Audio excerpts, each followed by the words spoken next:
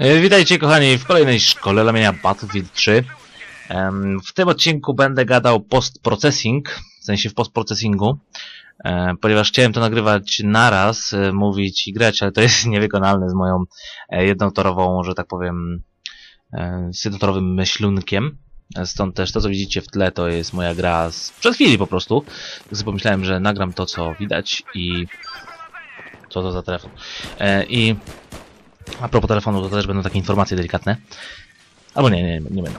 E, w każdym razie mm, do Battlefielda 4, jak wiecie, 26 marca był e, w San Francisco pokaz e, tam pierwszych minut. Właściwie to ten pierwszy gameplay 17-minutowy był pokazany, jak to wygląda.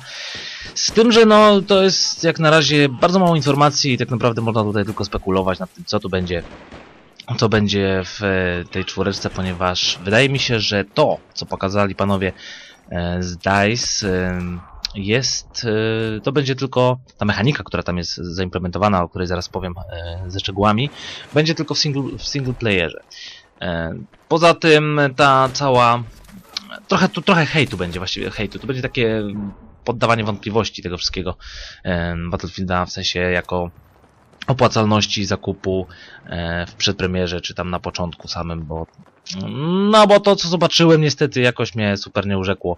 Grafika faktycznie jest fajna, niemniej jednak również żadnych jakichś tam fajerwerków nie widziałem, poza tym, że jest to wszystko bardzo ładne.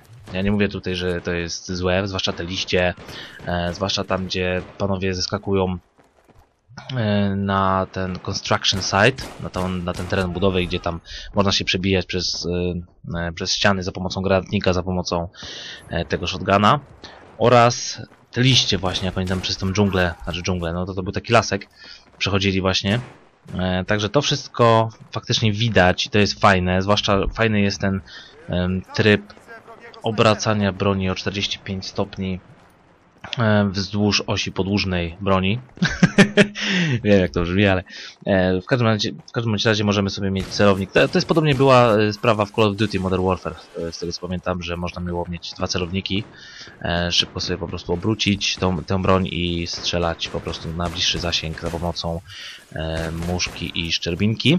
I to jest fajny, to jest fajne, z tym, że e, ten system, że tak powiem, mm, przygważdżania, w sensie ten taki jak to się fajnie nazywa jakoś, to jest ogień osłonowy, czy coś takiego, w każdym razie gdzie po prostu nasi kumple z drużyny ostrzeliwują wroga, a my w tym czasie na przykład coś możemy robić. I i myślę, że tego właśnie nie będzie w multiplayerze, że po prostu tam nie będziemy mogli sobie na przykład, bo to chyba y, walną się w pierś pięścią i nagle widzimy, gdzie są wrogowie. Po prostu mamy te znaczniki nad e, wrogami, te pomarańczowe. I wydaje mi się, że tego oczywiście nie będzie. I tak naprawdę powiem wam, e, żeby to tak e, skrócić szybciutko, że to będzie taki, wydaje mi się, niewiele lepszy Battlefield trójeczka. A naprawdę, ja akurat kupowałem te wszystkie dodatki bez premium, więc... em, więc po prostu wydałem na to chyba 250 zł na to wszystko i pytanie, czy jest sens wydawać kolejne 250 zł około na kolejnego Battlefielda, który wygląda bardzo podobnie. I to jest moje zdanie. Oczywiście grają ludzie, znaczy to się nie skończy na pewno na Battlefieldzie trójeczce, że nagle wszyscy z Battlefielda trójki e, przesiądą się na czwórkę i nie będzie, będą puste serwery. Nie, ponieważ nadal Battlefield Bad Company 2 e, ma graczy i to ma mnóstwo tych graczy, także Także Battlefield na pewno trójeczka pozostanie e, aktywną grą, według mnie. Oraz e, wydaje mi się, że ta polityka e, EA właśnie z tymi dodatkami już się naprawdę wszędzie z nich nabijają, że po prostu to, żeby powiedzieć e, ludziom przed premierą, że już jest przygotowywany dodatek DLC, czyli po prostu on był robiony razem z grą i kolejne pieniądze wydawać na kolejne cztery mapy jest dla mnie po prostu no no nie wiem, czy to jest jakiś e, próba obrażenia naszej inteligencji, czy jak. E, w każdym razie ja na pewno Battlefielda 4 nie kupię w przedpremierze i to na bank, ponieważ wydaje mi się, że oni tam za mało tej pracy włożyli, za szybko chcą to wydać. Oczywiście no to jest dwa lata po premierze, tak? Z tym, że e, jeżeli kupujemy te dodatki do trójki na bieżąco, no to faktycznie endgame już mamy, więc e, czekamy tam ile, 3 miesiące czy 4 i będziemy mieć e, właściwie więcej, chyba 6 miesięcy, pół roku trzeba będzie czekać. I mamy Battlefield 4. E, No pytanie, czy to faktycznie, mm, że tak powiem, zda egzamin, to się dowiemy, jeżeli wypuszczą e, panowie z EA jakieś e, dodatkowe materiały z multiplayera, bo no jakby nie było, multi, Battlefield trójeczka multiplayerem stał, a ta kampania dla pojedynczego gracza pewnie też zamknie się tam w kilku godzinach, nie wiem, do 5-6 max. E, Faktycznie ładnie to wygląda, ale e, to jak mówię, i mówiłem na początku, że wyroki będzie można wydawać, jeżeli zobaczymy jakieś pierwsze materiały z multiplayera.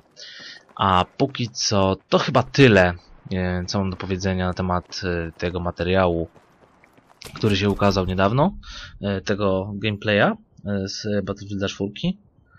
I, I tyle, kochani. Także piszcie w komentarzach, e, co o tym sądzicie, e, o tym, e, o tym Battlefieldzie z numerkiem czwartym pod spodem.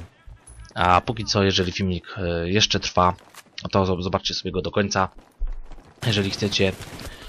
A ja się z wami już żegnam teraz, także trzymajcie się, pozdrawiam was cieplutko. Komentujcie, subskrybujcie, oceniajcie. Do zobaczenia w kolejnej szkole lamienia. Wybaczcie, że odcinek jest e, króciutki, ale jak mówię, nagrywam go tuż e, po świętach i po prostu nie mam jeszcze za, za dużo czasu, muszę tutaj wszystko ogarnąć. Także jeszcze raz trzymajcie się. Pa, pa!